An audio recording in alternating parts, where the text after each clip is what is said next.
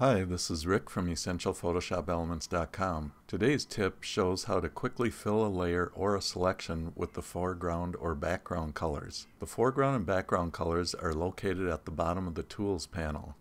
They're represented by two overlapping squares.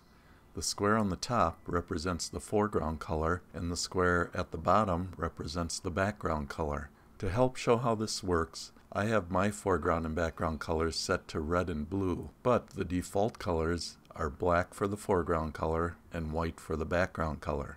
Let me quickly show you how I did that so you can do it too if you want to. You can always get back to the default foreground and background colors by just pressing the letter D for default. So I'll do that now to change my foreground and background colors to their default colors of black and white.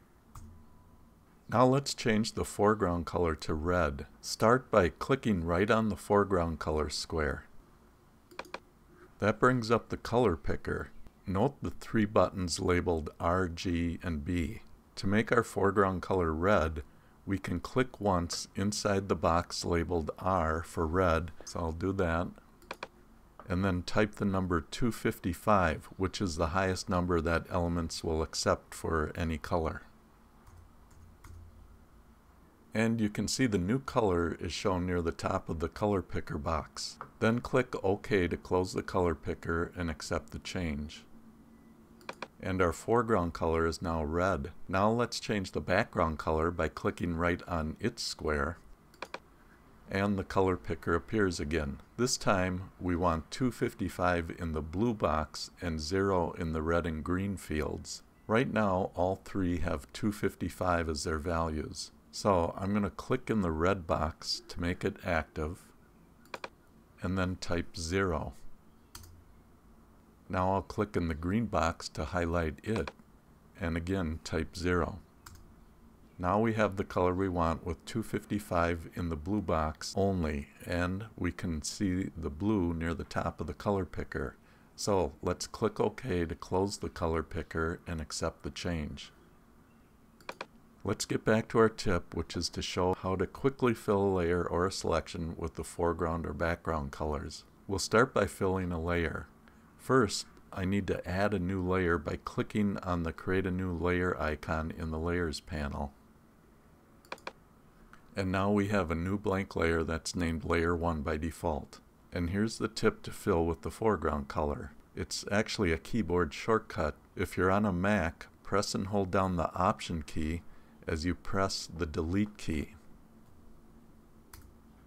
And if you're on a Windows PC, press and hold the Alt key as you press the backspace key. And now that entire layer is filled with the foreground color, which in our example is red. To fill a layer with the background color on a Mac, press and hold the Command key as you press the Delete key. On a Windows PC, you press and hold the Control key as you press the backspace key. Now let's fill a selection with the foreground or background colors. I'm going to delete this layer by dragging it to the trash icon in the Layers panel. We'll start by making a selection. I'm going to use the rectangular marquee tool to click and drag diagonally to make a simple selection.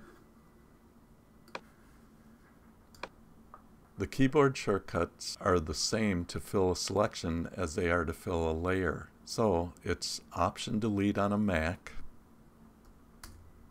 or Alt Backspace on a PC to fill a selection with the foreground color. While our selection is still active, let's fill it with the background color. I'll press Command Delete on a Mac or it would be Control Backspace on a PC. And now the selection is filled with our background color, which is blue.